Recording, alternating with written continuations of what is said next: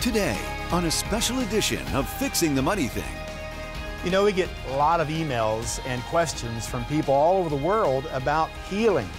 And because you asked, we're jumping into that topic healing. Let's jump into some questions today that people have sent in, and let's find out what the answer is from the Word of God. Because you asked, healing today on Fixing the Money Thing. I'm Gary Keesee. For nine years, I had debt I couldn't pay, which brought on panic attacks, antidepressants, until the kingdom of God drastically changed my life. Now, I want to help you fix the money thing. America's financial coach, Gary Keesee, wants to mentor you in the kingdom principles that will set you free. If you put God's principles in place, you will prosper. This is Gary Keesee. Fixing the Money Thing. Welcome to Because You Asked Healing. I'm Gary Keesee. I'm glad to have you with us as well as our studio audience today to talk about a very, very important topic healing. You know, does God still heal? That's the question I get on multiple, multiple emails and questions as I travel the country. Does God still heal? And most people, let me say it this way, a lot of people are taught that He does not. In fact, you'll hear things like God allows bad things to happen. God allowed that person to have cancer, you know? So we have to address this issue. Does God still heal? And you have to have an answer for the question. And maybe it doesn't work if you're sick. You have to know that God still heals. Now, I believe in this life, in this body, that pretty much everyone at some time will have to believe God for health. We, we need to understand that we need to prepare and stand on what the Word of God says. So I believe everyone at some point in their life will need to stand on the Word of God, not necessarily a life threatening situation, but I'm just saying you need to know what the Bible says about healing. Matthew chapter 9, verse 35 tells us this Jesus went through all the towns and villages, teaching in their synagogues, preaching the good news of the kingdom, and healing what? How many? Every disease and every sickness. I think that would include anything that is now currently bothering you. You need to understand that Jesus healed them all, every disease and every type of sickness. Now, in Matthew chapter 8, verse number 17, again, we need to understand that healing was a trademark of Jesus' ministry. Everywhere he went, he healed. In Matthew chapter 8, verse 14 through 17, when Jesus came to Peter's house, he saw Peter's mother in law lying in bed with a fever. He touched her hand, and the fever left her, and she got up and began to wait on him. When evening came, many who were demon possessed were brought to him, and he drove out the spirits with a word and healed. Again, we find the, the phrase what? All the sick. He healed all the sick. We also find attached to that, he drove out the spirits. So we'll talk about that in a minute. This was to fulfill what was spoken through the prophet Isaiah. So we see that Jesus healed all the sick in his ministry. He, he had authority to heal all the sick. Of course, in Acts chapter 10, verse 38, how God anointed Jesus of Nazareth with the Holy Spirit and power, how he went around doing good and again healing what? All who are under the power of the devil because God was with him. So basically, those that are held captive under the jurisdiction of the kingdom of darkness can be set free by the power of God. Jesus did that. Understand this Satan hates your body because God's presence, his authority, dwells in your body. In the earth realm, the place you say, where's, where's the Holy Spirit at? Well, it's not, he's not in a temple made of stone. He is dwelling in fleshly bodies. He is in your body, and the Bible calls it the temple of the Holy Spirit. Satan thus hates our bodies. And he would, he would you know, love for us to be sick and incapacitated. 1 Corinthians chapter 6, verse 13 talks about this. Food is for the stomach, and the stomach for food. But God will destroy them both, meaning that in the end, they're not, this body's not eternal. This body's not. The body is not meant for sexual immorality, but for the Lord, and the Lord for the body. So, as the food is for a stomach, and the stomach was created for food, our bodies were created for the Holy Spirit. Understand that. Okay? Just as our stomach is created for the specific purpose of handling digestion for food, food for the stomach and stomach for the food. Our bodies were created for the Holy Spirit to walk in this realm, the earth realm, uh, by, with the Holy Spirit. Verse uh, chapter 6, 1 Corinthians chapter 6, verse 19 says, Do you not know that your body is a temple of the Holy Spirit who is in you, whom you've received from God? You're not your own. You were bought at a price, therefore honor God with your body. Your body is holy. Your body is a temple of the Holy Spirit. It is holy, and this scripture lets us know it is not your own. Okay, so for a proper perspective, for us to understand the value of our body, we need to understand that it is purchased. Jesus paid for it, He owns it. Why does, he, why does he want to have access to your body? Of course, he wants you to be in health, but you are his hands and feet. The Holy Spirit dwells within you. Satan has since beginning of time tried to deface the human body, tried to bring it down to a lower level of honor than what God had intended. You'll find that he is consistently trying to devalue the human body. It is the temple of the Holy Spirit. Now, the church has been commissioned to take this healing to, the, to their generation. Mark chapter 16, verse 17 and 18, and these signs will accompany those who believe in my name or my authority.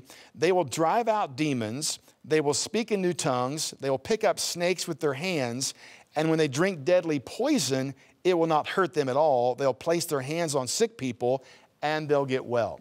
Now, when Jesus is talking about you know, picking up snakes with their hands and all that. He's not really talking about snakes. He's talking about being able to pick up something deadly or under the kingdom of darkness, you know, drinking something poisonous or picking something up that's dangerous. It won't harm you. Jesus is referring to the authority that we now have in his kingdom, that uh, Satan and his plot and the uh, earth curse system will not overrun our lives. We now have authority to live as God has designed us to live. Amen? Amen. So, I remember uh, back early in the ministry, actually before I pastored, another event that really caught my attention was I was invited to speak on finances uh, to a little church down in Albany, Ohio. So I went down. I was, I was not a pastor then, but we taught some principles and some basic fundamental financial principles because I've had a financial business for 34 years. At that meeting, the pastor's mom, we went to, after the church meeting, we went to the pastor's house. I met his mother. Uh, Mrs. Stewart, who was there, and she's probably 80, maybe 80 years of age, late 70s. And we sit down had dinner after our meeting there. And so we had dinner, and then comes the dessert. And I was surprised, this, this 79 year old mom, whoever she was, uh, we had a piece of pie, and then she asked for a second piece of pie. And I thought, wow, that's pretty cool.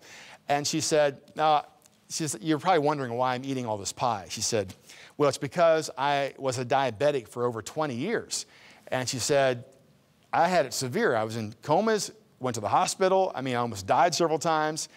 And she said, I got to the point, I read a couple scriptures that seemed to indicate that Jesus still heals. So I took a three by five card and wrote the scriptures about healing on those cards. And at every meal, breakfast, lunch, and supper, I would read those scriptures and say, Father, I thank you that I, I am free from diabetes. One day she said she woke up and she was completely healed. And she said, ever since that point, she's as much dessert as she can get her hands on because she likes it. Because for 20 some years, she never had it. But you know what? That was an amazing story. And God loves amazing stories about His power. More because you asked. Healing after this. Today, from Faith Life Now, three amazing and timely healing resources for you, your family, and our nation. Healing is a promise from God. In multiple scriptures, it says Jesus restored all to health. Your Bible also tells us that God isn't a respecter of persons. What He promises or did for one, He promises and does for all. In Live Whole, God's Healthcare Plan, Gary teaches us what the Bible says about us and our healing. God wants to bring wholeness to your life. Live Whole, God's healthcare plan, where we talk about how I was healed, but countless others that were healed also. Yes. In this 10 part, 6 CD mentorship series, packed with real stories of healing and wholeness, Gary teaches on the scriptural promises concerning healing and your ability to access them. Your health is more than just important to your finances, it's vital to your destiny. Live Whole messages include healing, it's your legal right, building your faith, being confident in God's promises, learning to trust, keeping your focus on the truth, changing your perception with evidence, and more. God wants you to live whole. Call or log on now to start employing God's healthcare plan. Also, Gary and Drenda's daughter Amy shares her own miraculous story in her book, Healed Overnight. I lost 13 pounds and 9 inches in my waist overnight. I was healed of a tumor, and you can be healed from whatever is going on in your life today, whether it's emotional, mental, uh, physical, or spiritual. The perfect companion to live whole. Amy's book, Healed Overnight, will spark hope and encouragement so you can believe for your miracle. So I encourage you today to get healed overnight, my encounter with the supernatural. As a bonus, to help you live whole every day, we want to send you 10 healing scripture cards in the convenient carrying case. Each business sized card displays a vital verse about healing. Call, write, or go to faithlifenow.com to get the Live Whole Mentorship Series for yourself. $45 for Live Whole, God's Healthcare Plan on six CDs, Amy's book Healed Overnight, and the bonus 10 healing scripture cards. For your gift of just $20 or more, get Healed Overnight and the scripture cards. Remember, Jesus already paid the price for your healing. Call, write, or go online and get the Live Whole Mentorship Series now. And now, another story of healing to build your faith on Fixing the Money Thing. So, both the boys were under the care of an orthodontist, and um, so they would go twice a year and get their teeth checked, and um, they kind of keep doing that and decide if they need braces or not. And uh, Zachary had gone and had his um, appointment, and he had his teeth X-rayed, and they took us in and they said, you know what, he has a tooth that's impacted, so it's sideways and it's pushing on the adult tooth and it's damaging that root, so that tooth has got to be extracted to give way for the other tooth to come up. It's the only way to fix it. So when I went in and stuff and took x-rays, when they told me that I uh, had to get a tooth pulled, it just didn't sound like fun because, and it wasn't because she told me that they take like these plier looking things and just kind of rip it out. So it didn't sound very fun to me. So I just started praying about it. What made me think that um, that it would, well, if I prayed, it would heal me, just because I know, like, whenever you first pray, that you're healed then. So I would just, for the rest of the time, I would just keep thanking Him for it and stuff, and that's why I kept doing it and stuff, and then I go back and so I just kind of kept doing it. Several years ago, Pastor Gary um, had taught a series on healing. It was about 10 weeks long. It was called Live Whole series. I like to say Pastor Gary puts the cookies on the bottom shelf. Like he just made it accessible for everyone. And so I'd had asthma for 30 years, been in and out of hospital, uh, took medication every day, steroids for flare-ups, and it's just a miserable way to live. And so at the end of that series, um, I received healing, and so completely healed of asthma, threw all my medication away um, just like a complete life transformation. So just like seeing her pray and believing in faith that that she would get healed, it just uh, kind of helped me have more faith about it because she did get healed and it made me think that I can get healed too. A few months went by and I, I just kept meaning to make the appointment to go and see the dentist and get the tooth pulled and um, I just I didn't get around to doing it. And so at our next orthodontist appointment, they said, why did you not have that tooth out? I said, you know, we meant to do it. You know, we got really busy, but we'll absolutely make an appointment and get that done. And um, so they said, well, we're going to take x-rays to make sure there's no more damage done. And so they took Zachary into the other room and um, he went and got x-rays and he came back in and the tech was like, oh my goodness, like this tooth is completely straight. Like I don't know how it is, but it's completely straight. And so she's like, I'm gonna go get the orthodontist. And so Zach just turned and looked at me and he's like, told you, I just knew it was gonna be straight. I prayed. And so from the last appointment, I guess, he came out of there thinking, that doesn't sound too good to get a tooth pulled out. So I don't want that. So I'm just gonna pray and ask God to straighten my tooth. And he had not actually said anything to us, so we didn't know he was praying and believing that. And um, like I said, we had always intended that tooth would get pulled and that was the way to fix it. But you know, he's been growing up in Faith Life Church and he's been taught about the kingdom and he understands how it operates. And, and so he just decided, you know what, by faith, this tooth is going to straighten itself. When the tech person came out and told that to me, at first I was surprised, but then I thought to myself, like, why should I be surprised? Like, God, like, always will come through if you really have faith in Him.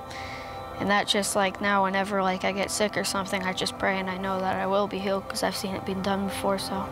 You know, as a mom, um, it's exciting to see your kids know at a young age that the kingdom works and that God cares about all details of our life and um, even things that might seem, you know, insignificant or, hey, it's just a tooth. You, people get teeth pulled out all the time. But um, I was just so excited to see that he knew that faith works even to straighten a tooth. And if it works for that, you know, it works in all um, circumstances. And for him to see him stand on the Word of God and to, um, you know, to know that the Bible, what it says about healing and to lay claim to that and to speak that and then to know that it's done. So it's just exciting to see at a young age them standing on the kingdom and understanding how it operates.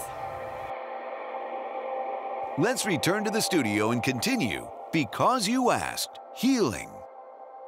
You know, we get a lot of emails and questions from people all over the world about healing.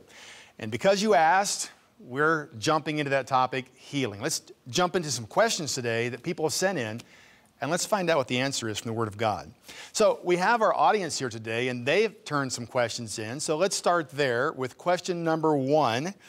In the story of Mark chapter 8, verse 22 through 25, the writer describes Jesus spitting on a man's eyes, and then he laid his hands on him. Jesus then asked the man what he was experiencing, and the man said, I see men like trees walking around. In verse 25, it says, Jesus again put his hands on the man's eyes, and then his eyes were completely open. Here's the question Please explain how Jesus could pray a second time to see the complete manifestation of the man's healing.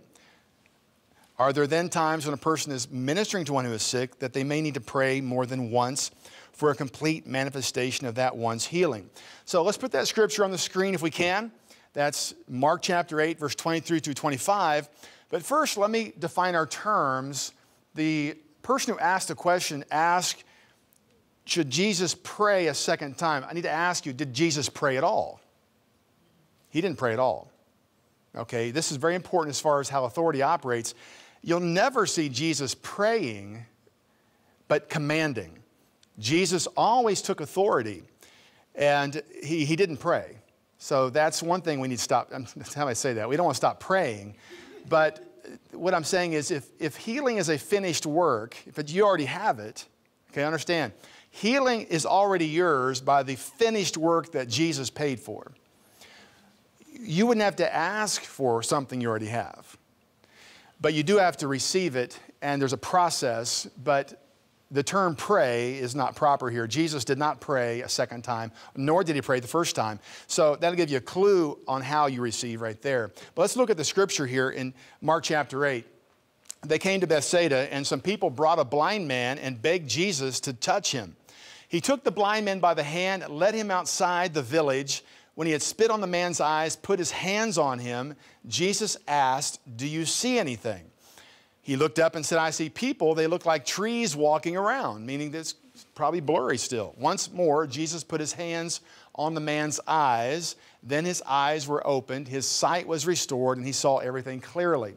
Now, again, how you come to the Bible, your, your understanding of what legally has been given and how the kingdom of God operates helps to find, helps you begin to learn how to interpret Scripture. So we have something here. First off, did the man come to Jesus by himself? No. He was brought to Jesus, all right? So he was brought to Jesus. Now, what I'm about to say, this is my personal opinion, okay? From the story, we gather facts, but this is my personal opinion. Notice Jesus is the vessel, okay? The anointing, as we studied earlier in our series, because you asked, we are the temple of the Holy Spirit. Jesus was baptized by the Holy Spirit at the River Jordan. Okay, so the Holy Spirit, the vessel, He is the vessel or the point of contact in the earth realm of the government of God, right? You got that part. All right, so He lays, why is laying on of hands a doctrine of the church? Because we are the vessel of the Holy Spirit. When we lay hands on people, that is like an electric, electric current or it's a conduit, it's a point of contact that allows that anointing to flow from our bodies to that person. And in Hebrews chapter 6, I think Paul talks about laying on of hands. Of course, Jesus told us to lay hands on the sick and they shall recover. Now, laying of hands is not the only way you receive from God. But in this particular case, it's what Jesus did. He laid his hands on him and he put some spit on his eyes it's as a point of contact. The man had some restoration of his eyes, but it wasn't complete. My theory is, now, obviously we know that Jesus has the ability to heal. My theory is, is that the man didn't quite know what was going on, that when Jesus laid his hands on him, he tapped into that anointing. But when he began to see things, he was encouraged to believe God for the, you know, he was encouraged. You follow what I'm saying? He was brought to Jesus. And so I'm not quite sure that his, it doesn't say his faith, he didn't ask to come which is an important aspect. He was brought to Jesus, and we'll talk about what I'm talking about a little bit later. But my theory is, is that he had some impact, that anointing, that then encouraged him. Jesus read his faith and laid his hands on him a second time, and he was able to completely receive that anointing if that makes any sense. It will, we'll talk more about that later, about how the kingdom legally flows into the earth realm, but that's my theory on that, okay? Again, having a proper understanding of how it operates helps you define these things. Question number two from our audience Mark chapter 6, 1 through 6, Matthew 13, 58 says that Jesus could do no mighty works in his own hometown. In fact, let's just put that on the screen right now. Jesus left there and went to his hometown accompanied by his disciples. When the Sabbath came, he began to teach in the synagogue, and many who, were, who heard him were amazed. Where did the man get these things? They said, What's this wisdom that has been given to him that he, he does miracles? Now, where did this happen at? In his hometown. Okay, you need to have that down, hometown. Isn't this the carpenter?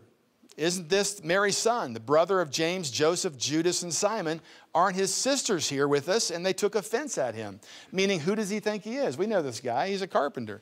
Jesus said to them, Only in his hometown, among his relatives, and in his own house is a prophet without honor. Honor refers to the ability to receive. You honor something, you respect it, you receive from it, okay? He could not, he could not do any miracles there except lay his hands on a few sick people and heal them.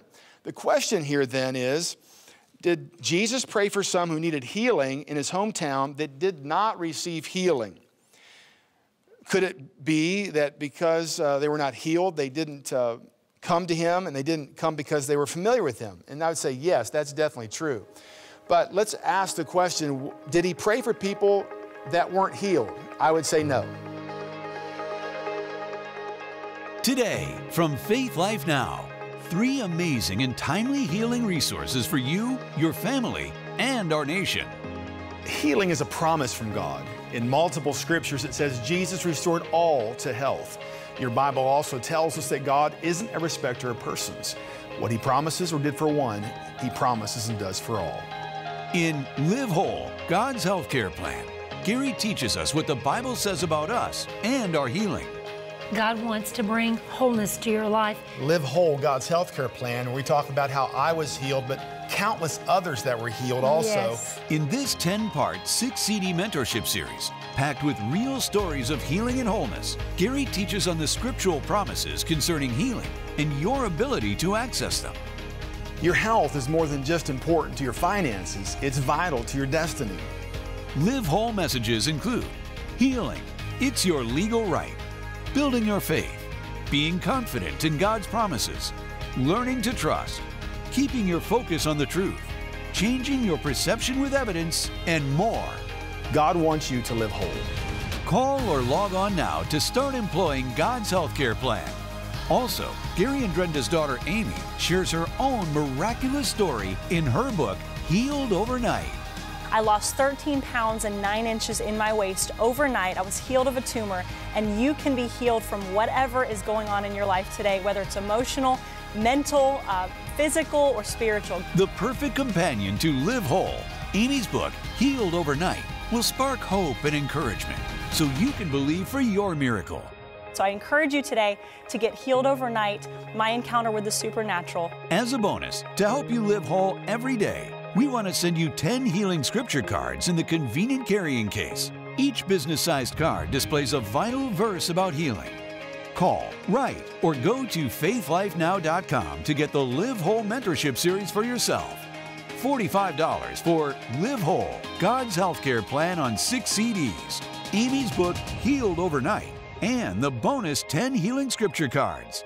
For your gift of just $20 or more, get Healed Overnight and the scripture cards. Remember, Jesus already paid the price for your healing. Call, write, or go online and get the Live Whole Mentorship Series now. So I hope this session has helped you understand how faith works and how healing comes, and that our session, because you asked on healing, I hope that's helped you a lot. Be more confident that God will heal, always wants to heal, every time. Fixing the Money Thing is brought to you by the Forward Financial Group and Lindsay Honda and Acura of Columbus. When you need God's help, prayer is always the answer. Pastor Gary understands and wants to help. That's why he has caring friends standing by 24 hours a day, 7 days a week, ready to pray with you. No matter what you're facing, there is hope. Call and let's agree together. Caring prayer partners are available faithfully any time of the day or night. You can also leave your prayer request at GaryKeesee.com. Just click and know someone will be agreeing with you in prayer for your need to be met.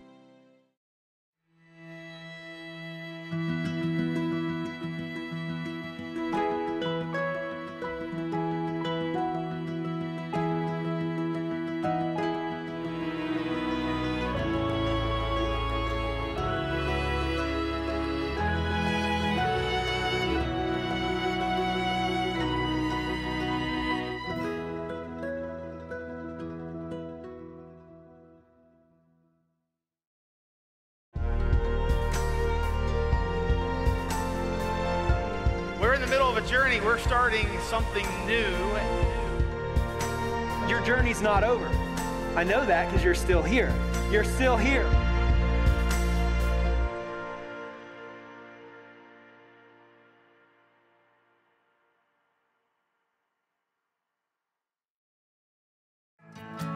Pastors Gary and Drenda Keesee invite you to experience Faith Life Church for yourself. We're excited for you to experience love, community, and the good life. Located on the northeast side of Columbus at 2407 Beech Road in New Albany, Faith Life Church meets in the Now Center and offers something for every age. Join us every weekend for life changing kingdom teaching, inspiring worship, and a family focus. Saturday service starts at 6 p.m. Sunday morning, we meet at 9, 10:30, and noon. You're also invited to join us for First Wednesday service every month at 7 p.m. And if you can't make it to a service, join us at faithlifechurch.org for live streaming and access to past services as well. Visit faithlifechurch.org for directions and more information.